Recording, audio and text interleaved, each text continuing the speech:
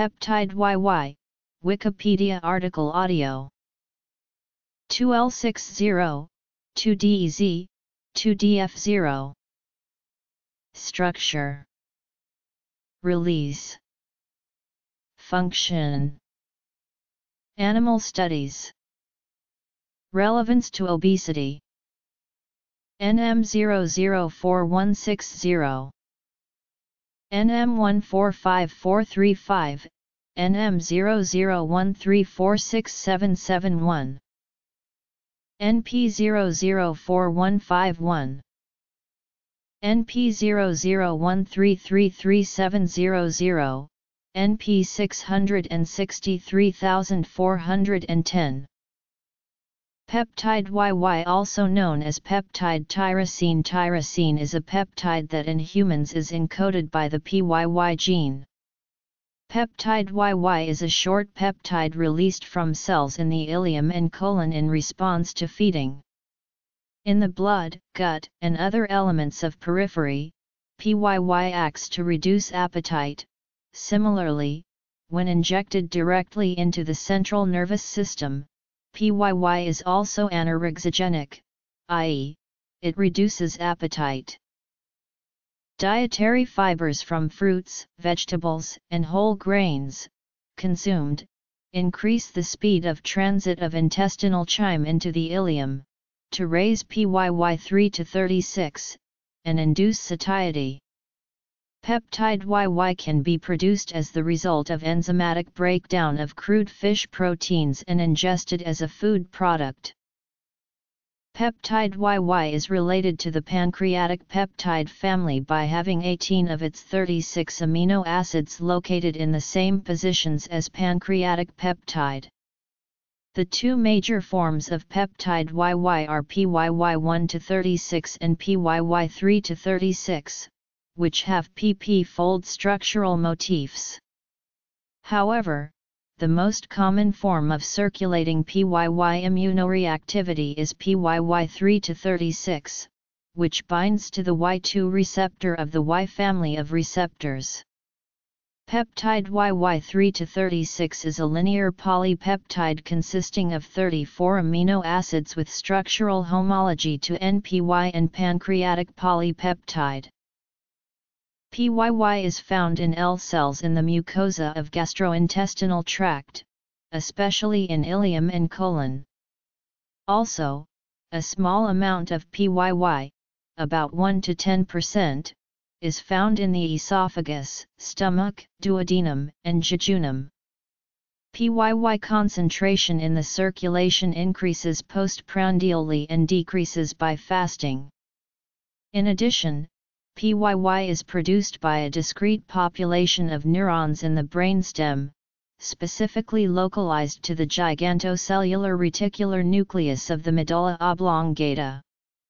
C.R. Gustafsson et al. had found PYY producing cells located in the islets of Langerhans in rats.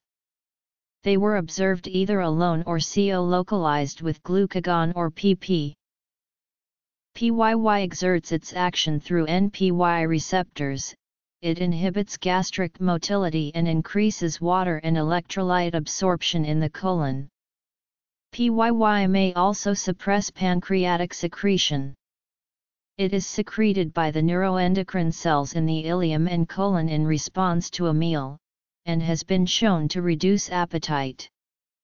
PYY works by slowing the gastric emptying, hence, it increases efficiency of digestion and nutrient absorption after a meal. Research has also indicated PYY may be useful in removing aluminium accumulated in the brain. Several studies have shown acute peripheral administration of PYY3 to 36 inhibits feeding of rodents and primates. Other studies on Y2R knockout mice have shown no anorectic effect on them. These findings indicate PYY3 to 36 has an anorectic effect, which is suggested to be mediated by Y2R. PYY knockout female mice increase in body weight and fat mass.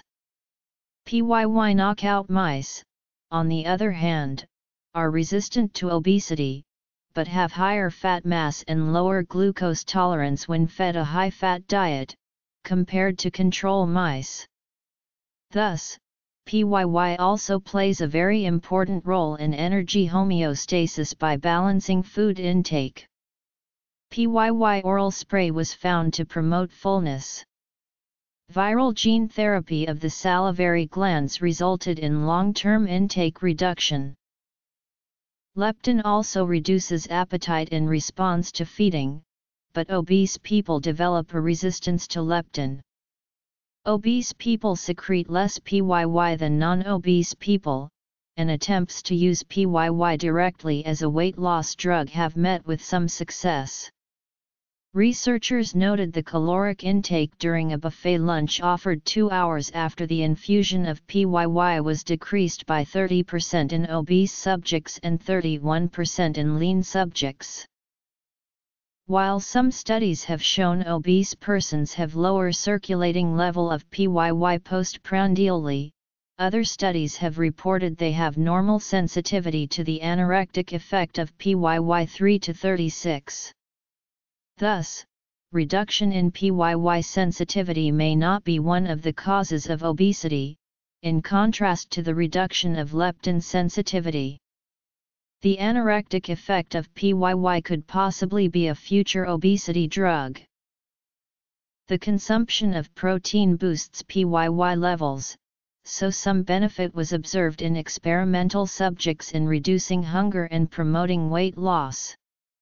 This could partially explain the weight loss experienced with high-protein diets, but the high thermic effect of protein appears to be the leading cause. Obese patients undergoing gastric bypass showed marked metabolic adaptations, resulting in frequent diabetes remission one year later. When the confounding of calorie restriction is factored out, beta cell function improves rapidly, very possibly under the influence of enhanced GLP-1 responsiveness. Insulin sensitivity improves in proportion to weight loss, with the possible involvement of PYY.